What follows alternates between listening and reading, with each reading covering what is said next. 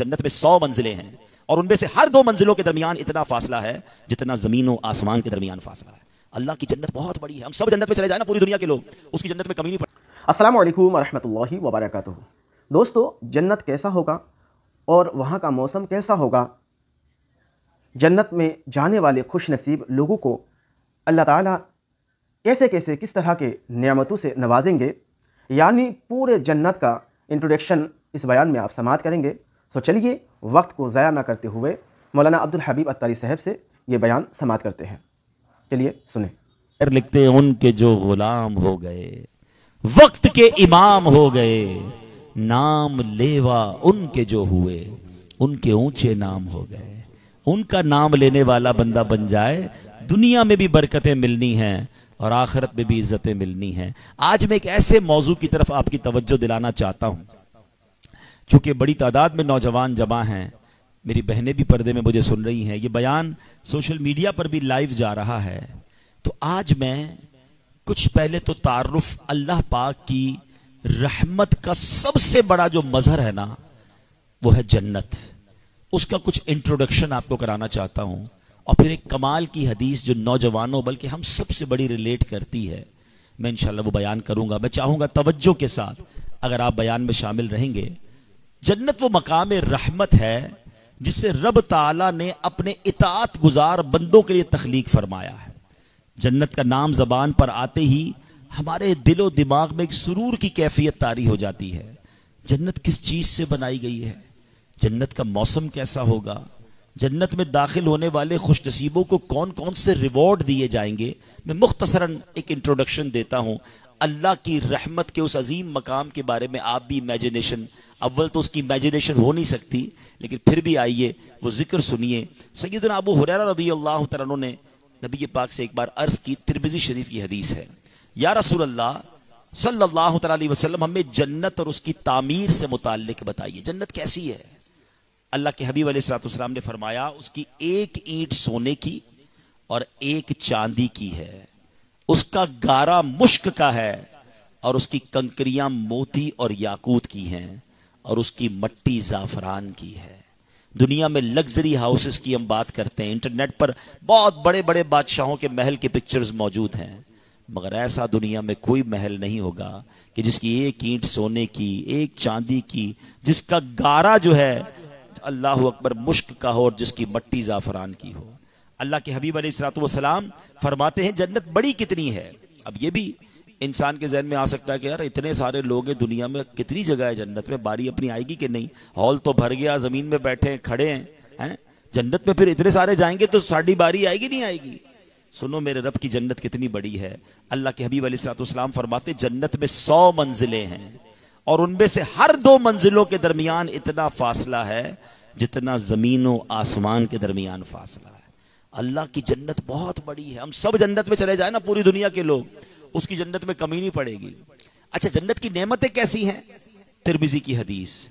नबी पाक सलाम फरमाते हैं कि अल्लाह ताला ने इरशाद फरमाया कि मैंने अपने नेक बंदों के लिए ऐसी ऐसी नेमतें तैयार कर रखी हैं, जिसको न किसी आँख ने देखा, ना उसकी खूबियों को किसी कान ने सुना ना ही किसी इंसान के दिल पर उनकी माहियत का ख्याल गुजरा। It means there is no possible to imagine कि जन्नत की नेमतें कैसी होंगी। और आज के दौर में अगर इमेजिन नहीं हो सकता, क्योंकि आज तो इंटरनेट का जमाना है you can search the most beautiful house in the world you can search the most expensive thing in the world आप हर चीज़ सर्च कर सकते हैं आर्टिफिशियल इंटेलिजेंस से और क्रिएट कर सकते हैं।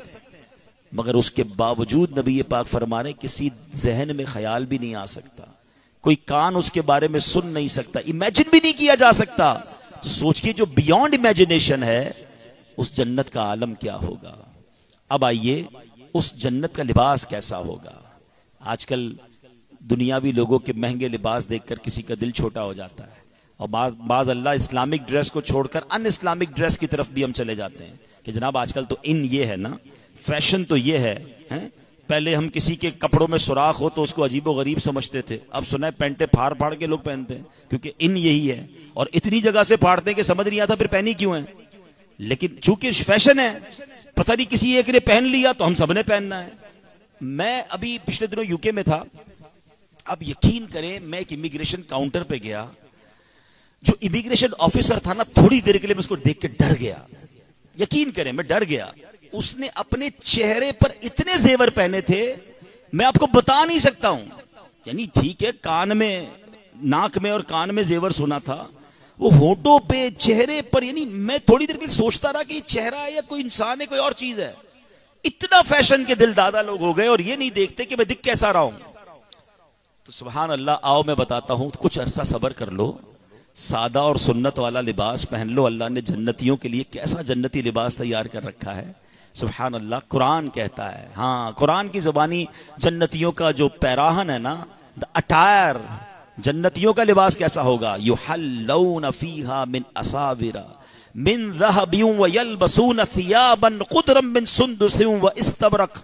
कुरान कहता है, वो उसमें सोने के कंगन पहनाए जाएँगे और सब कपड़े करीब और कनादीस के पहनेंगे। एक और इमेजिनेशन साथ साथ बताता रहता हूँ, नौजवानों का दिल और इंशाल्लाह खुश होता रहेगा बहुत सारी चीज़ें ऐसी हैं जिसमें शरीयत ने हमें दुनिया में रोका है। मर्द जेवर नहीं पहन सकता। ठीक है ना? हमारी बहनें हैं, वो पहन सकती हैं। मर्द सोने चांदी के भी जेवर नहीं पहन सकता। आजकल पता नहीं मर्द भी कितने जेवर पहनने लगे हैं उंगलियाँ कम हैं, अंगूठियाँ ज़्यादा हैं, गला एक है, चेने बहुत सारी हैं। अरे भाई, ये मर्द के लिए नहीं है। मर्द को जन्नत में जेवर मिलेंगे। अब अप टू यू जिस जिस चीज़ से शरीयत ने यहाँ रोका है ना, उसका बेहतरीन ऑल्टरनेटिव हमें जन्नत में तैयार करके रखा है। तो जन्नत में कुरान क्या कहता है? वो उसमें सोने के कंगन पहनाए जाएँगे। अब आपकी मर्ज़ी, इधर जेवर पहनने, अल्लाह को नाराज़ करना या इंतज़ार करके जन्नती जेवर पहनने। और फिर उसमें सब्ज कपड़े कपड़े कौन सी क्वालिटी के होंगे? करीब और कनादीस के पहनेंगे। हज़रत सैदरा काबुल अखबार रदी अल्लाह तो फरमाते अगर अहले जन्नत के कपड़ों में से एक कपड़ा आज पहन लिया जाए तो उसकी तरफ़ देखने वाले की नज़र उचक ली जाए और लोगों की बिनाइयाँ उसे बर्दाश्त ना कर सके। इतना कमाल के लिबास होंगे। अच्छा अब जन्नतियों की उम्रें कितनी होंगी? यहाँ ठीक है लाइफ एंजॉय करने के लिए लोग कहते हैं, यार, जवानी के बाद तो बुढ़ापा फिर इंसान ढलता जाता है ना। इतनी सारी नेमतें, कितना टाइम मिलेगा? सुबहान अल्लाह हदीस पाक में है, अहले जन्नत में से कोई छोटा या बूढ़ा मर जाए, उसे जन्नत में तीस साल का बना दिया जाएगा। थर्टी इयर्स की एज होगी। जो जन्नत में जाएगा, सारे तीस साल के हो जाएँगे।